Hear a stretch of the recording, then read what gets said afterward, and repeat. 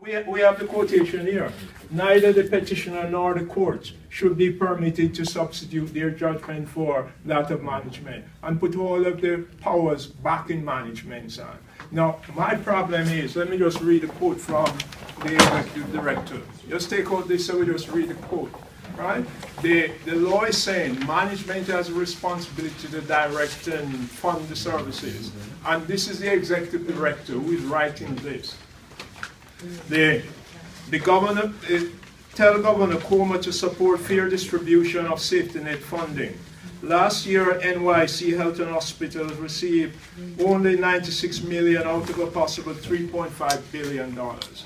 Now, if the hospitals are only receiving 96 million out of a possible 3.6 billion, you understand what we are talking about. So if there's not the funding, our jobs are at stake. Patient care is at stake if they are going to have a new model of delivering health services instead of inpatient, outpatient, right? And they are, have the opportunity to transform the job relationship, the job specification that they have power over, the employment and that sort of a thing, union fighting against union, workers fighting against worker. You understand the dilemma that we'll be in in another two years. All of the HHC people's jobs are at stake. Because if they can modify and if they can transform and if they can divide the job, right? People's jobs are at stake. So you understand why we asked Sister Jamela to come and speak to us. So that you understand the very serious nature that we are talking about. And she's speaking on behalf our brother Henry Garrido, right? And their upstate the other day when I come up there for the two hours where I had to come up there, I went up there, rush up there, just, just to spend a few minutes up there. But I had to show my presence that they understand we take it seriously. So see, we have come in here, we have not even called a meeting to order, right?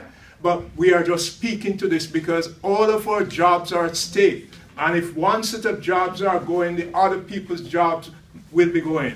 The, third point I just made, Sister Dolan just came in here and just spoke to you, right, about continuing education. The, the workers and their association fought to get it so that they could isolate themselves from other people. And in doing that, what they did was to say, unless we have these, these credits, with the continuing education credit, we will not have a job because it's now become a requirement of the job.